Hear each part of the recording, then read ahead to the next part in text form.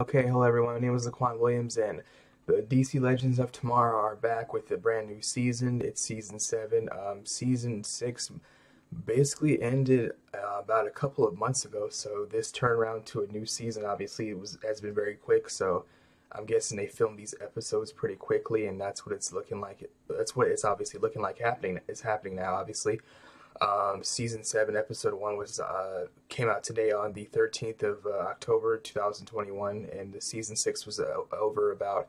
I think it was about. If I'm, I think I'm mistaken, I think it was June. If I'm not mistaken, I reviewed uh, the whole season and everything, and talked about it. And now they're back uh, months later. So first episode is titled "The um, Bullet Blondes," named after Ava Sharp and uh, Sara Lance as they're stuck in 1920s Odessa, Texas, specifically 1925, where we left off obviously last season at the end of season six, the finale, um, where season finale where they're stuck in obviously the 1920s. Odessa, Texas is an, uh, the place and obviously where um, uh, well, I forgot her name now on the show Spooner. Spooner is obviously um, um, her mo- her mother. They're living with they're staying and hiding out her, at her mom's house because remember they traveled back into time in order to uh, obviously um, figure out this whole thing. Uh, um, obviously, last season with the fountain of Imperium, and they ran this obviously Spooner as a child and her mother, and she had to explain to her mother and break the timeline. Literally, I'm your daughter from the future, which obviously you're not supposed to do. Obviously. Um, obviously, there's just been lots of issues with them traveling back into time, traveling forward, going to the past and future, messing with the timelines and obviously screwing things up, and they've been fixing them as well. But we know that they can't do that. Essentially, what happens uh, at the end of season six was somebody destroyed their Wave Rider, which is their ship slash um, teleportation device that allows them to chat time travel. It's also, like I said, time traveling device as well. Um, somebody destroyed it who looks like they were in another version of it as themselves. So, uh, and based off of what they're saying, which is um, they're supposed to be, uh, uh, and when they have the 100th episode, it's supposed to be a big, huge thing. All of the past characters who used to be on the show are going to appear, who are no longer on the show. Somebody um, who, who was missing that I saw out of everybody was Hawk Girl, but Hawk Man is there, so I thought that was kind of weird. They, they showed the photos um, online around here. Everybody's supposed to come back, you know, um, uh, Firestorm, um, Captain Cold and Heatwave, um, Damien Dar- Darhk's daughter, who is uh, Nora Darhk, who is with obviously the Atom, played by Brandon Brandon Routh, who plays obviously um the Atom on the show. He's coming back obviously. Um, Captain Cold Heatwave, Mick Rory, who was Dominic Purcell, and obviously um, Captain Cold, who's a, who, who obviously was on the show. So they're all supposed to come back on the 100th episode. So I'm assuming that basically what's going to happen is we'll figure out that Rip Hunter from the obviously came back from the past and destroyed the Wave Rider currently because he probably felt that the team weren't living up to obviously their um, expectations and everything that they promised him he would they would do. To, well, they would promise him that they would do, which was preserve time, not screw everything up, and not get out of hand. I think that he's going to come back and tell them that you guys were supposed you guys were supposed to be doing better than this. You were you become very sloppy. That's why I destroyed the Wave, the Waverider to teach you guys a lesson. So basically, what I've seen is that obviously because of that. Um, some people are saying on comment sections on videos and stuff that um, less money and be, will be put into the budget for this season. So that means it's going to be uh, less. Um, I would say, um, what's it called? There won't be a bit, there won't be a lot of obviously magic and spells and them using their powers obviously throughout the season because they're limited. But when they need to use them, they will do it. But because they don't have the Wave Rider and all that technology on the ship and stuff and everything else to help them, they're um, they they weren't able to use their little teleportation devices to get around the to, the, the time uh, the the time little card uh, um, uh, carriers.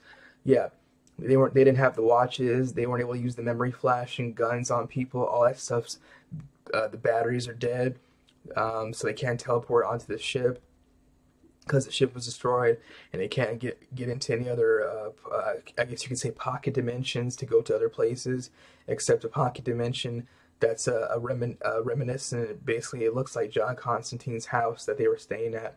That he gave the the team. Well, he gave a, um, he gave obviously Zari a, a, key that opens the door in as um uh, what's it called in um in Spooner's mother's house that takes him to a pocket dimension that's reminiscent of his house.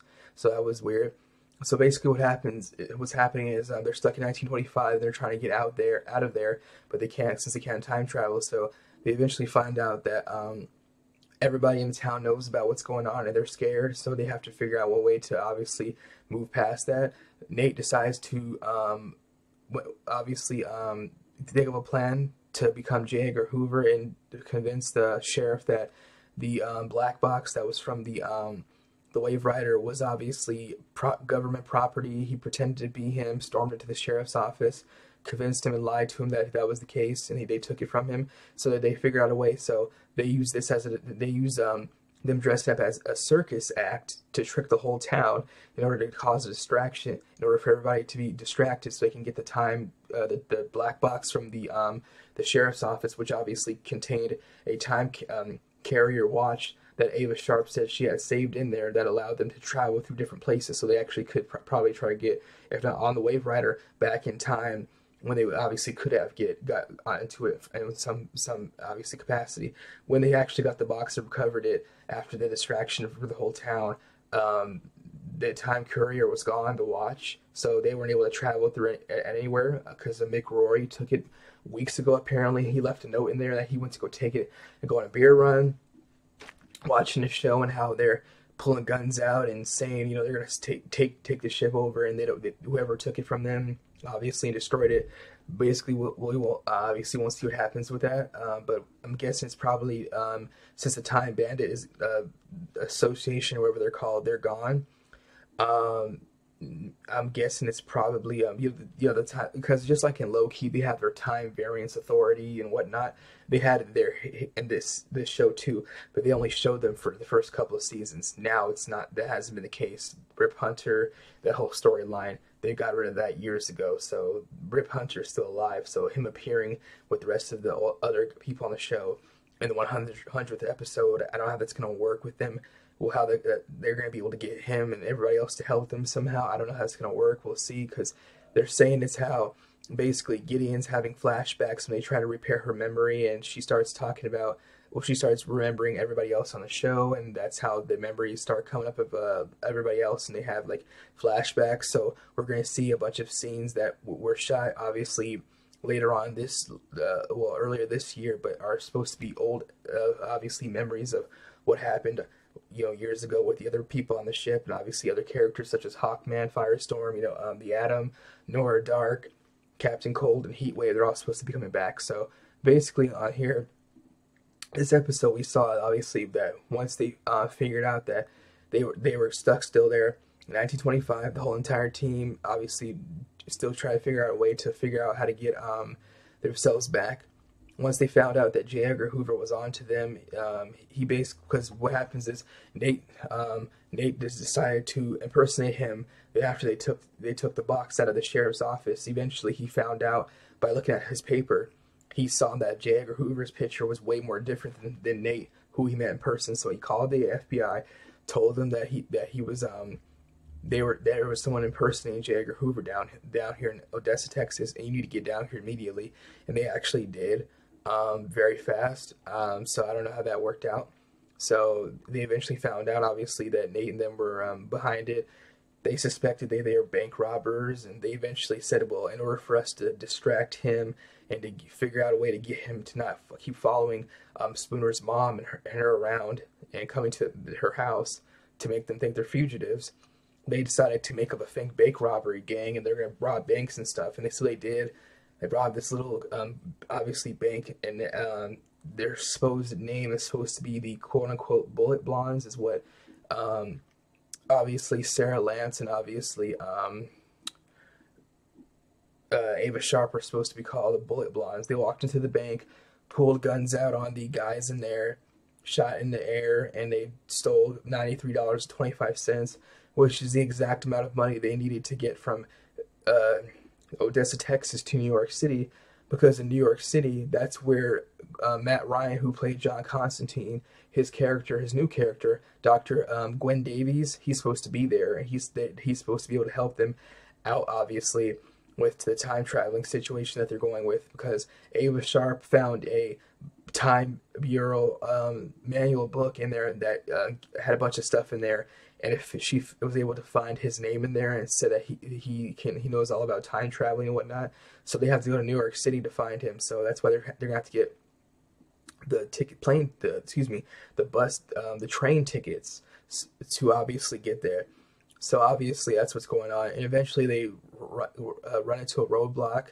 At the end, um, um, excuse me, um, uh, Astra doesn't stay, but I'm, I'm trying to remember. Um, Az Astra doesn't stay she, um, with Spooner, but Spooner wants to stay with her mom. But eventually, what happens um, at the end is obviously um, Gideon randomly just comes out of nowhere, um, obviously, and is resurrected into obviously a human form. Um, how they kind of did it was weird because they were talking about her and saying how they missed her and stuff. next thing you know, she appears in human form, and the show kind of ends. I thought it was kind of random at the end of the episode, just to kind of throw it in there, like, oh hey, Gideon's back now, just at the at the end of the episode. But going back to the um, obviously the uh, roadblock situation, J. Edgar Hoover found them after they robbed the bank. Immediately set up a little roadblock with him and another guy. They ran through the roadblock. It was just a big like like, like a little uh, po- uh, fence post like in the way to keep them from getting out. It was nothing too big. It's 19 1925, so they didn't have a huge big uh, roadblock set up to keep them from getting away like they would if it was 2021 or something. They ran past them. He shot at them. They drove past him. He fell. On, he he jumped on the roof. He, he, he they stopped the car. Nate was driving, and then he fell off the hood. J. Edgar Hoover fell on the floor. They thought he was dead. And then he pulled his gun out. And he said he never misses. He shot Nate. Nate used his powers to turn into steel. Once he did that, the bullet that J. Edgar Hoover shot at Nate bounced off his his actual head and hit J. Edgar Hoover straight in the head, and he died. So now J. Edgar Hoover's dead. So they have to get rid of his body. So Gary is told by Ava Sharp to eat him because remember Gary is a shape shifting alien, but he obviously is looking like he can present himself in a human form at all times because he can because he's like a hybrid. And obviously Ava Sharp's main assistant when she was at the time bureau and she was the the uh, super the head boss there. So she he eats J. Edgar Hoover, and that's basically it they figure out that their their next move is for them to obviously go to New York and obviously find the doctor, uh, excuse me, slash professor, Dr. Gwyn Davies, who is now played by Matt Ryan, who played John Constantine on the show because he can help them figure out some way of time travel without they're obviously uh, without them obviously having the ability to have their wave rider to help them. So he's going to help them figure it out somehow. He's smart he's a genius. He probably has his own time uh, machine slash teleportation device that he's created himself or one that he can work with in a theory that can that, that can help them build it in order for them to get obviously out of 1925 period. But now they're on to new york. So in the second episode next week it says that this is the synopsis, synopsis for it, or the summary. It says that it's called The Need for Speed. This is next week on Wednesday, next week. It says um, on October 20th, next week, the legends, um, while the legends contemplate how to get to New York City, Behrad discovers that J. Edgar Hoover has um, he has um, train tickets to DC, but when Zari and is stuck without the internet, she is forced to become, take a digital detox and she becomes obsessed with figuring out who blew up the Wave Rider.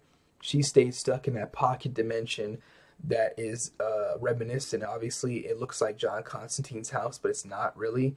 Um, it's supposed to be a pocket dimension in hell. When they open up the front door to his um, house, it was a big, huge wall of flames around it, and Nate was scared. He's like, "What's going on? Why are there flames everywhere?" And he closed the door. He said, "Well," he said, "Whoa," because he was like, "What's going on?" So basically, um, Sara Lance asked um, Gary, "Why is this like this, John?" Because he said he, Gary told her that um, this is. She asked, "Is this a pocket dimension in hell?" And she he said, "Yes, it is. It's a way for John Con- John Constantine to get away from everything." And he decided to do that.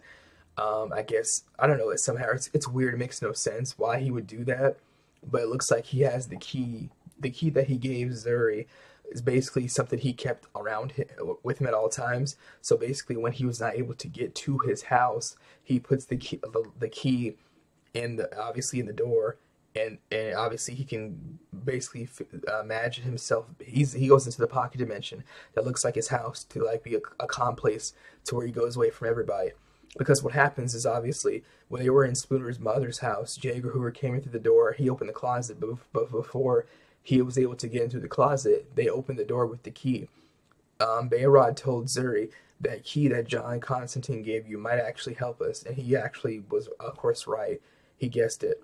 So I'm guessing that key that he, Zari uh, got from um, John Constantine, and she told him that he told her to keep it for safekeeping. I guess they he can they can use that key anywhere in the world to basically go into a pocket dimension to save them and to hide.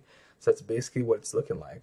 Because it's obviously magic, obviously, because there's no re- reason for it to be uh, linked to, to um, uh, Spooner's mother's house because they have no link there except Spooner. The rest of the team does not, and of course John Constantine doesn't either. So it's basically kind of like a pot. It's a pocket dimension. They can use that key anywhere in the world to you, uh, once you put the key in the door to obviously find a way to hide inside the actual door. So when J. Edgar Hoover opened the door, he to the closet. He didn't see the team. He saw a closet full of clothes, obviously, and they were on the other side in a pocket dimension away from him and everything. So that's basically what's going on. Um, it's looking like, um, well, this season's a little shorter than the last one. Season six was 15 episodes. This season is 13. That's why I looked up a couple days ago on their Wikipedia page, just to see what, what um, uh, exactly what was going on. That's basically what's going on. We'll see what happens, obviously, with the rest of the show as it goes forward. They kind of explain how the struggle on right here on uh, what is this um Cinema Blend yeah, they said that it's gonna be a struggle for Gideon now that she's obviously a human again, but this time she's a human fully. She can't. She's not gonna be an AI system. Probably until the end of the show, towards the end, she'll be able to be restored back to her regular self. But we'll see what happens. It felt obviously very reminiscent of the second Terminator movie, which was Judgment Day, when Arnold Schwarzenegger just appeared out of nowhere with no clothes on and obviously looked very like a you know um, out of place Gideon is, but she's not an alien now. She's a, a human being, but she was obviously an AI system. But now she's a full on human being regularly. They had in the past, but um, obviously her do that in the past in, epi- in other episodes. But now she's gonna be like that for like pretty much the, this this whole season, probably to like the last couple episodes. But we'll see what happens. Um, as far as how the show was and stuff, it was okay like I said, um, they had no plans really to any do anything, and it was just um, they were just really sloppy how they kept doing. It. They just kept getting caught over and over again. The sheriff knew that they lied. The town knew what was going on, but they had to trick them. Then obviously the, the um, Nate lied about being J. Edgar Hoover. The J. Edgar Hoover pops up out of nowhere. The real one, he's like, "Oh, who's impersonating me?" So now they killed him, and now obviously that screws up the timeline. So that they're they had no way to obviously fix that because they can't travel through time again. So because of that, so I have no idea what's gonna happen going forward. But um, uh, yeah, they were like literally just like, we have no plan. We're just gonna wing it, and they just kept you know lying, and they got caught, and they had to lie again. So they had to lie, uh, um, pile on the lies in order for them to be safe. But obviously that didn't work out very well. So now they're basically on the run. But nobody knows what happened to J. Edgar Hoover because nobody saw what happened to him being as far as him being killed and Gary getting rid of his body and eating it on the next episode, which is next week, uh, they're supposed to be going on a train to get to New York City, but it looks like Nate here is captured by Al Capone's guys, so now they're going to go up against Al Capone and his friends. Uh, well, his um, uh, excuse me, his henchmen, obviously gang gangsters. Um, on the train that they go on, that um, Nate gets captured by them. They have to get him out of there while getting back on the train somehow to get to New York City. So it's going to be a, tra- a train chase type of scene scenario going on next week. Um, we'll see what happens though. Like I said um, with the show, um, it's not what it used to be. They focused way too much on comedy, and that's pretty much why the re- reason the show hasn't been taken seriously the last couple of years. You could obviously see that with the ratings dipping down. Um, if the show is ending this season, I would not be surprised if they say something probably towards the last couple episodes, like show's gonna be over, this is it. If they do something like that, surprisingly, I wouldn't doubt it if the show is not going to be last season, or they could announce it when the actual season's over if they decided this was the last one. But my suspicions, uh, that's some my, that's what, what some of my suspicions. Lastly, I think that obviously the other possibility is this uh, the eighth season, which will be the next one, will be the last one. It'll be limited episodes. It'll be limited episode order production. Instead of uh, this one's 13, it'll probably end up being 10, or they might do it, um, cut it down to 8. We'll see what happens. But like I said, um, you know, the show used to be very funny, you know, obviously a couple years ago, and uh, especially specifically the first couple seasons, because the villains obviously were much more serious. You know, Damien Darhk, Vandal Savage was the first one. He was no joke. He was like a take no prisoner guy. He'll destroy anybody in his way, and he was not to be messed with. Damien Darhk was the same way as well, and he they were both were taken very seriously, and because of that, the overall tone and the message of the show was way more focused on them stopping them because these guys are very dangerous and very powerful. Last season, when they had obviously Bishop, this guy was a complete joke, and I was just like, this this show's gone straight down the drain. The, the villain is a bad guy, but he's smart and witty, and he's funny, he's joking, and he's singing and dancing every five seconds like I'm watching a Disney Channel movie. I'm like, is this supposed to be a show with superheroes who are in their mid 30s to early 40s? Or is this a, a show for kids? Like, what's going on here? Complete total joke. They basically tried to make it become the um, Guardians of the Galaxy of the Arrowverse. The show that's going to be the light-hearted, comedic, um, I would say, um, not well, it has comedic banter, but the comedic relief because Green Arrow, The Flash, it was not like this at all. Even Black Lightning, they had funny moments, but the overall meaning of the show and the tone was way more serious with with with how they presented it. It was first couple episodes. Oliver Queen is snapping necks and shooting arrows at people, and there was no jokes or no comedy at all like that. There was, um, as far as like every episode, like or it's like the overall main theme. Yes, there was funny moments and stuff, but that what the show was mostly serious and dark and moody. Obviously, how they had it pre presented because obviously you know, Oliver Queen's literally going around shooting arrows into people, snapping people's necks, beating up bad guys, getting shot at, get, getting killed, stabbed, dying, coming back to life. Obviously, in the Flash was like the first couple of seasons as well, and you know they've they've kind of gone back to it a little bit a little later now because they since they've kind of put a, a lot more comedy uh, into those shows. But that's basically what's going on with that. We'll see what happens. But like I said, even that's the case, I'm still going to see the show into the end, obviously, because I do that with every show I watch even when uh, uh, some seasons have not been fun as the previous ones. I see the whole entire show until the end. I've been watching this show since it's obviously first came out years, you know, it's about seven, eight years ago. And I'm still gonna watch the rest of it until it's over, obviously, because I don't want to fall behind.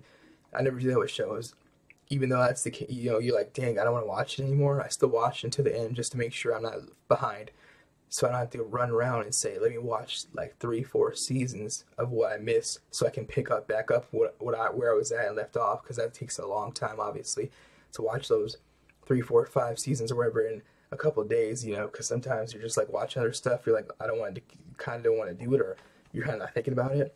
Maybe you want to do something else, obviously, but we'll see what happens. But um, that's what's gonna happen. Um, show is going to be based on based in the basically in the 1920s. Um, that's what's gonna happen as far as visual and special effects goes. People are saying that it's going to be a limited budget, so we won't see much of that. As far as um, them getting back to the um, future, we probably won't see anything probably till about the eighth or ninth episode. They might be able to time travel in a couple places, but as far as them getting back to 2021, probably won't see that happening until uh, probably about towards the end of this this season, which is um season seven, and there's 13 episodes. Probably like about 11 or 12 is when they will get back to it. Don't know who will be the, the, the, who will be the bad guy, the bad guy slash villain in this series, but mostly they're fighting other people. So based off of what they're doing right now, they just went up against J. Edgar Hoover. Next episode, they're going up against um, who um, Al Capone. I'm guessing, and if you continue, they might be going up against Bonnie and Clyde next, and some other bank robbers, some type of gangsters. I have no idea. We'll see what happens. Obviously, um, obviously, and what wars are going on around that time. Because remember, they're still in the United States, obviously. So we'll see what happens with that. Um, 1925. That's a couple of years from uh, from World War One, if I'm not mistaken. So we'll see what happens, obviously, but I don't know. And what the what the, what will be the effects of uh, what happened because of Nate uh, accidentally killing J. Edgar Hoover? What will that do the timeline? We'll see about that. But that's basically um uh, it. That's obviously in this video episode was kind of okay, um, but um, like I said before, just the, the, the the thrill of the show and the entertainment value of it is not what it used to be. It's kind of it's just basically okay. It's not what it used to be, but you, I'm still gonna keep watching it to the end. Obviously, if this is the last season, or if next season, which will be season eight, will be the last season. So we'll see what happens with that. And that's basically it. And that's all I have to say in my video. Um, thank you for watching, and let me know what you have to think about it. Obviously um, if you haven't watched the show for a while, or if you're not, you stop, or if you actually have not watched it at all, what do you think about? Obviously, uh, what I said, which was, um, could this possibly be the last season, or if it will season A be the last season, the next one, but it will be limited. Uh, the episodes will be limited, obviously, to about eight or to ten, based based off of uh, the money issues, the budget, obviously, in production, obviously, what the, what they're going to put into the show. We'll see what happens. Though I don't know, but it's it's just a, a guess, and I don't know. But um, uh, on the 100th episode, like I said, other characters on the show will be coming back. Um, they showed that um, I've seen that in a couple episodes. Um, I'm gonna sh- show it right here. I saw it right here, but we'll see what happens though. But like I said, somebody who was missing that I noticed in the photos was um, Hawk Girl. Where, where is it at? I have it right here. I showed everybody. Here we go. No, this is not it. Um, well, here's Rip Hunter back with um, Brandon Routh, who, Routh, who plays um, the Atom on the show. So here's everybody that's supposed to be coming back. Let's um, so basically, um, returning cast is supposed to be. Um, well, they already showed everybody. They said Dominic Purcell is supposed to be back as Heat Wave. I don't know how that's gonna happen. Um, and how many episodes he's gonna be on besides the 100th episode, but that's what they said is going to happen. Obviously, um, yeah, I don't know, but uh, we'll see what happens with that. He's supposed to be back. Here's everybody. So as you can see here, who who, who the people who are no longer on the show is um obviously right here. Uh, he uh, he um Dr. Martin Stein, obviously other half of Firestorm. Um, so and here's basically everybody coming back. Um, Let's see. Um, Rip Hunter's coming back. Dr. Martin Stein, Firestorm, uh, Hawkman, Nora Darhk, Ray Palmer, and that'll be it. And I remember the Atom, who was supposed to be played by another character besides Ray Palmer, was supposed to be on the show.